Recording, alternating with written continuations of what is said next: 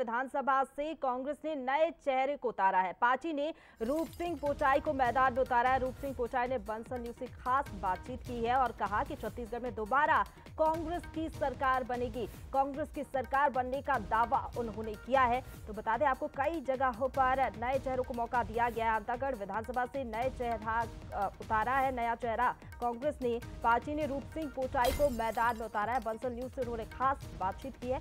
सुनवाते हैं आपको उन्होंने क्या कुछ कहा?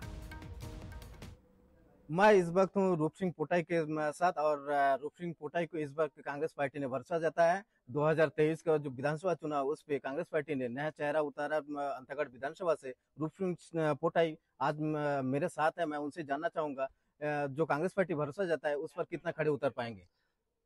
सबसे पहले तो आपका चैनल को बहुत बहुत धन्यवाद और आप आप सभी सभी को, सभी का था प्रयास से मुझे कांग्रेस पार्टी का उम्मीदवार बनाया है।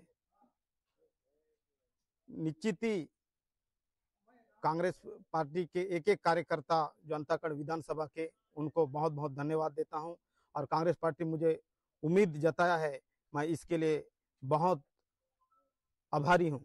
तो यह था हमारे साथ रूप सिंह पोटाई, जो कांग्रेस पार्टी द्वारा अंतगढ़ विधानसभा से उम्मीदवार बनाया है, और उनका कहना है कि, साफ़ तौर पर कहना है कि इस बार भी कांग्रेस की सरकार बनेगी। रविंद्र मंडल, बंसल न्यूज़ पखानजूर